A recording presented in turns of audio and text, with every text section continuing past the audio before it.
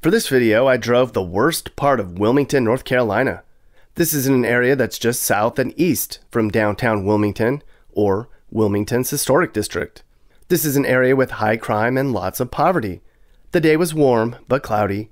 It was Thursday, December 24th, 2020, at about noon. Now I'm going to begin the video in a neighborhood that's just adjacent to the bad part of town and then drive to the bad part of town to lend some perspective on just how quickly Wilmington goes from nice, historic homes, which are well maintained and where crime is low, to the bad part of town, with high levels of crime, drug sales, and shootings.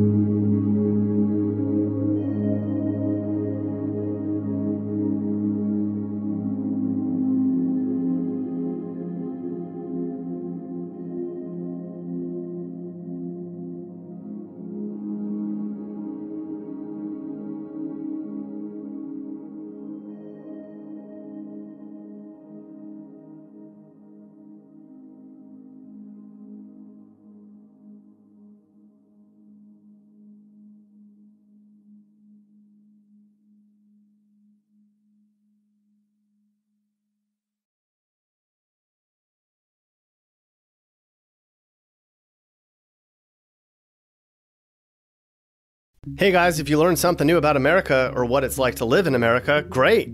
You should think about subscribing and turning on your notifications. You can also click one of these videos or playlists for more. You can also now buy my songs on iTunes and other formats.